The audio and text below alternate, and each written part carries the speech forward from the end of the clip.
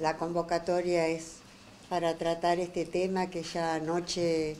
dimos un comunicado por los hechos que son de conocimiento público, el tema de la ambulancia que fue detenida en Mansilla y donde se, secuestró eh, marihuana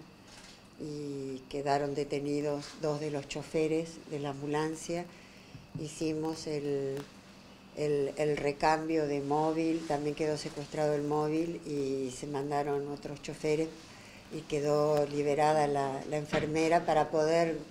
en primer momento lo más importante era que el paciente pudiera llegar a destino, que era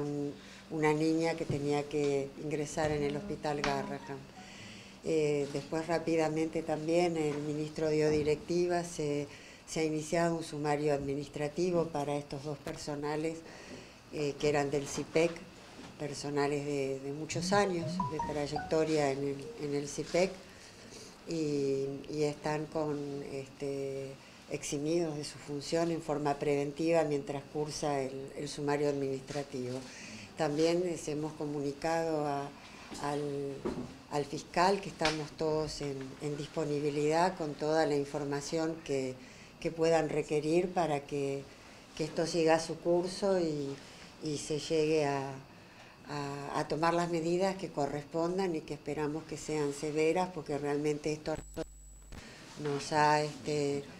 consternado esta noticia y también nos ha dolido mucho con el esfuerzo que hace la provincia y el ministerio para responder con todas estas este, derivaciones que son eh, toda esta movilidad que no hacemos solo para el, sistema público, también le hacemos algunos programas, como en el caso de incluir salud, y nosotros estamos trasladando a los pacientes que van oncológicos, que van a hacer radioterapia a corrientes, a resistencia, también hacemos para salud mental, incluso para el IAPA, las internaciones por las adicciones, o sea, presta todo un servicio muy importante y para otras áreas también de gobierno. Este, así que bueno, esperamos que la, la justicia pueda resolver este caso y las implicancias que tenga y estamos todos a disposición. Doctora, ¿cómo se separa lo individual de lo institucional?